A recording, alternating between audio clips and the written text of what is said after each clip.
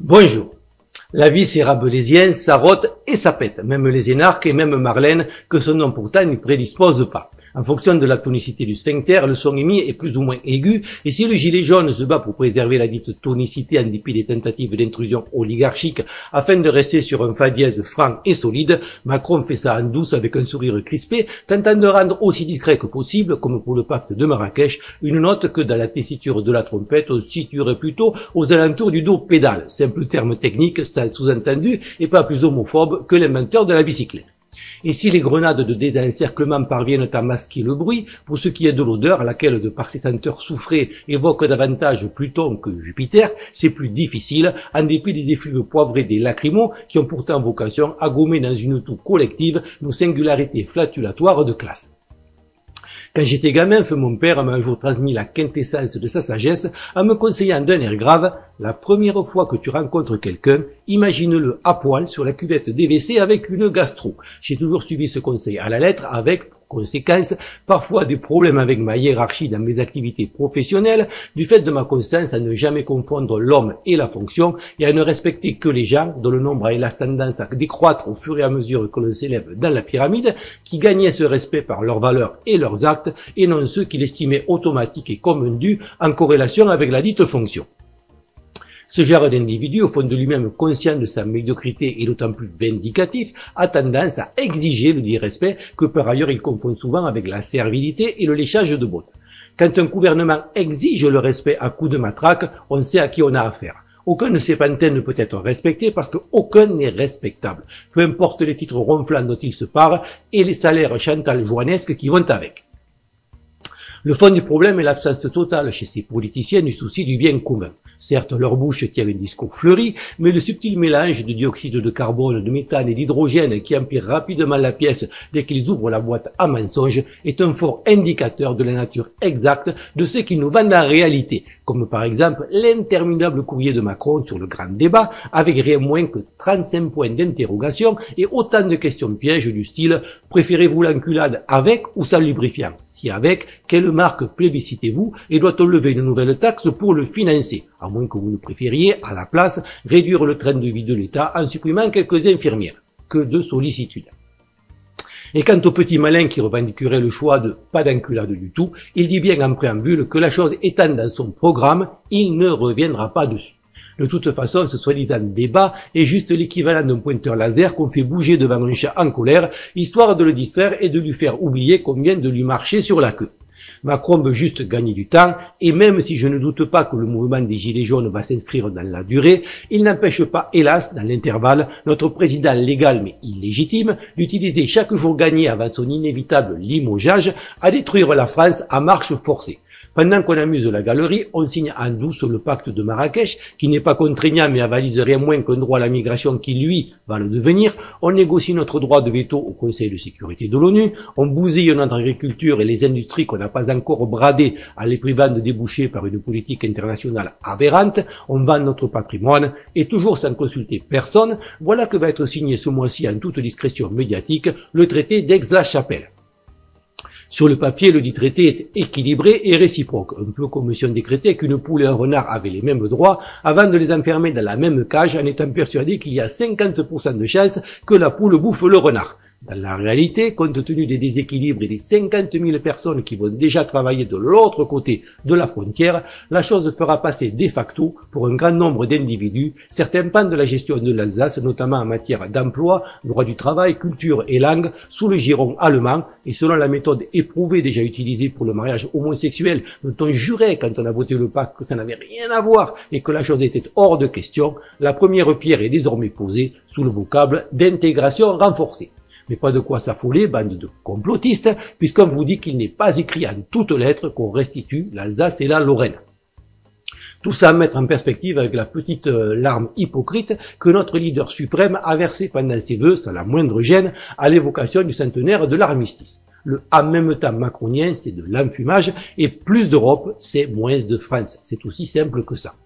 Ce type est peut-être un pantin, mais un pantin zélé et toxique, ça a le moindre intérêt pour un peuple qui méprise, surtout sick quand les pauvres déconnent, pour le pays qu'il estime désuet et plus grave. Pour le bien commun qu'on sait qu'il lui est aussi étranger que des pieds de porc issus d'un cochon bouddhiste dans un couscous halal.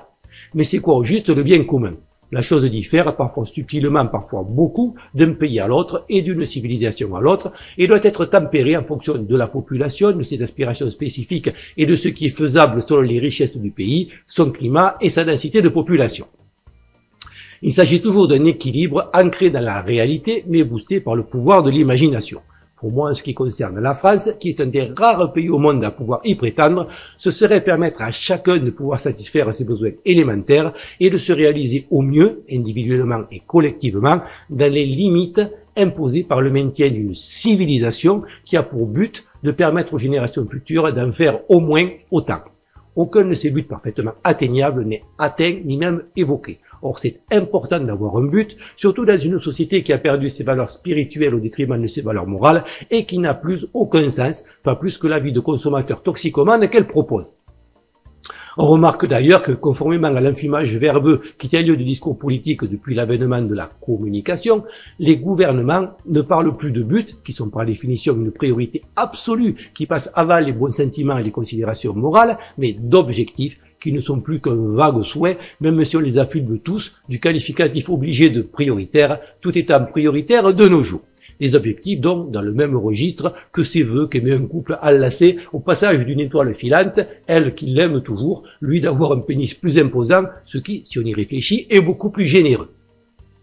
Pour atteindre un but, par définition, on fait absolument tout ce qui est nécessaire. Par exemple, si le but est de protéger ses frontières, on tire sans hésiter sur tout ce qui s'obstine à traverser sans permission, ou tout du moins, comme l'Algérie ces derniers temps, on le reconduit immédiatement à la frontière, ce qui, étant donné qu'elle se situe au milieu du désert, revient quand même un peu au même. En revanche, si c'est juste un objectif, on essaie vaguement de dissuader les gens avec le succès que l'on connaît. Les vrais synonymes sont extrêmement rares et remplacer un mot par un autre a souvent de lourdes conséquences. Cela ne veut pas dire que nos gouvernants n'ont pas de but absolument prioritaire, mais ils ne sont pas avoués et ne peuvent être déduits que de la direction dans laquelle ils nous dirigent. Métissage forcé généralisé et abêtissement culturel et chimique pour obtenir un magma d'esclaves isolés dans la foule, sans racines ni soutien familial ou lien social, au service d'une élite aussi médiocre que parasitaire. Bien sûr, à terme, et c'est d'ailleurs ce qu'on nous a vendu avec l'Europe, on aurait la paix mondiale, de la même façon que le lapin d'élevage est protégé du renard. Mais contrairement au lapin, nous sommes capables d'appréhender le concept de civet et d'imaginer qu'un pot de moutarde sur la table de la cuisine ne présage rien de bon. Il faut croire, comme le démontrent les Gilets jaunes, que la phase d'abêtissement n'a pas encore été menée à son terme et que si l'idiocratie escomptée a déjà atteint les pantins du gouvernement, au point que la seule évocation de ce qui pourrait sortir d'un croisement entre Chiappa et Castaner a quelque chose d'apocalyptique, les gens, eux, contre toute attente, ont remis en marche la machine à penser cartésienne et que le moujon, ce mélange de mouton et de pigeon transgénique qui faisait docilement et quinquinalement la queue dans les bureaux de vote, est en voie d'extinction aussi rapide que les illusions de ceux qui attendaient 100 euros promis par Macron. Des décennies de lavage de cerveau et de politiquement correct ont été balayées en quelques semaines et la petite digue qui subsiste encore, arc sur toutes ces lois liberticides enfantées par la loi Guesso qui empêchent d'avoir des débats honnêtes, voire des débats tout courts, lesquels par définition n'ont cure d'offenser quiconque, cette digue donc commence sérieusement à se fissurer. Tout l'édifice mondialiste repose en effet sur le musellement de la parole et l'impossibilité, à tort ou à raison, de braquer les projecteurs sur tel ou tel groupe ou lobby et de voir comment ils se comportent en pleine lumière.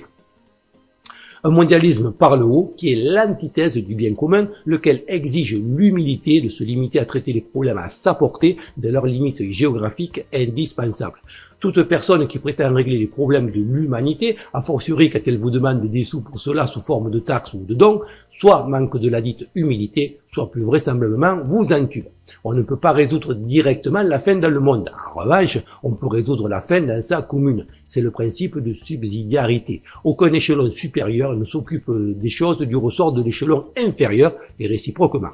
L'individu fait ce qu'il veut chez lui, il se regroupe en communes pour régler les choses qu'il ne peut ou ne veut gérer individuellement, les communes se regroupent en départements pour optimiser certains aspects, les départements se regroupent en nations et ainsi de suite. L'autorité doit toujours partir du bas vers le haut et non le contraire, et l'option de plus de liberté contre moins de sécurité doit toujours être disponible à ceux qui la souhaitent, sous réserve, sous peine de faire capoter toute la structure, qu'ils en subissent impitoyablement les conséquences et soient traités de la même façon dans les mêmes circonstances que la cigale de la femme. Certains partent du principe qu'un pauvre, c'est un riche qui a échoué et que le pouvoir ayant tendance à corrompre, il serait dangereux de le donner au peuple. Je pense que si ça peut se discuter dans un système qui plébiscite les meilleurs et où l'ascenseur social fonctionne, c'est faux dans un système qui favorise les plus roublards et les mieux connectés, car si beaucoup de gens ne sont pas hissés en haut du panier de crabe, c'est souvent dès lors par excès d'honnêteté, ce qui en ferait justement les meilleurs pour gouverner. En outre, dans le pouvoir par le peuple, le dit pouvoir est dilué, chacun n'en détenant qu'une petite partie, ce qui n'est pas le cas dans le pouvoir représentatif, lequel inclut également les fumisteries supposément communistes, auxquelles on assimile à tort le dit pouvoir du peuple, qui n'y a pourtant jamais eu son mot à dire. De plus, contrairement à tout ce qui a été fait par le passé, la révolution numérique permet une révolution démocratique sur laquelle on jette un voile pudique, dans laquelle tout citoyen pourrait voter en temps réel sur tout sujet et à n'importe quel échelon dans les domaines qui l'intéressent, ce qui fait qu'on n'a plus besoin de représentants, sauf quelques tirés au sort pour signer des documents, voire même de cours de cassation, et que même la Constitution devient plus symbolique qu'autre chose. Le saut qualitatif pouvant sembler trop grand pour certains, le RIC est un compromis de transition acceptable et je remercie Cyril qui a adapté le logo de base que je proposais en quelque chose de beaucoup plus sexy.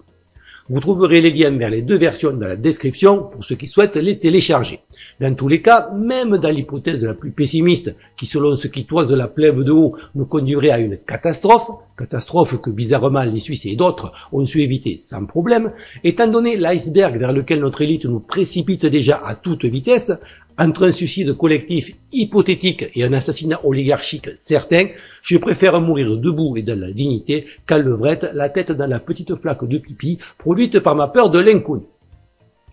Comme d'habitude, je n'ai pas la prétention de détenir la vérité, juste d'avoir, tant qu'on me laisse faire, un discours honnête, logique et argumenté, sans autocensure. Je ne filtre aucun commentaire et cette chaîne, par principe, n'est pas monétisée et ne fait pas appel aux dons. Si vous voulez me soutenir, faites-le en likant, commentant et pour les plus courageux, en partageant mes vidéos afin de toucher un plus large public en espérant que ça puisse contribuer à faire avancer les choses. Merci encore à tous pour votre fidélité et vos encouragements et à bientôt